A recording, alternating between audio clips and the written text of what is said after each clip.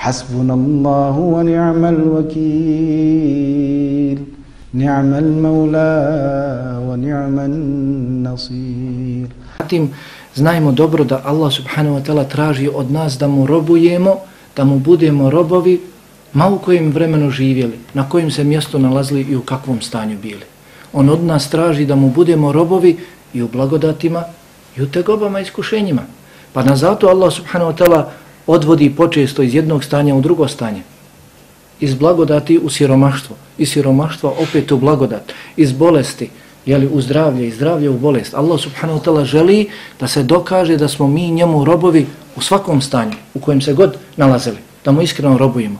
Zato se dobro čuvajmo da ne budemo Allahovi robovi samo onda kada nam je dobro, kada je sve potaman, kada smo sretni, smireni, Allaha subhanahu wa ta'ala robujemo. Najmanje iskušenje koje nas pogodi, vraćamo se. Zar nije Allah subhanahu wa ta'ala upravo u svojoj knjizi opisao takve ljude kada kaže وَمِنَ النَّاسِ مَنْ يَعْبُدُ اللَّهَ عَلَى حَرْفِ Ima ljudi koji obožavaju Allaha, vjeruju Allaha, ali ne sa potpunim uvjerenjem. Ne dakle potpuno, sa uvjerenjem فَإِنْ أَصَابَهُ خَيْرٌ إِتْمَأَنَّ بِهِ Kada ga zadesi dobro, kada je u dobru, i on je smiren. وَإِنْ أَصَابَتْهُ فِتْنَ إِنْقَلَبَ عَلَى وَجْهِهِ A ukoliko ga pogodi neko iskušenje, on se vraća svome prethodnom životu.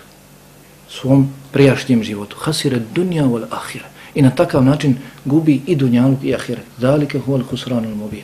I to je dakle ta jasna očita, očita propast.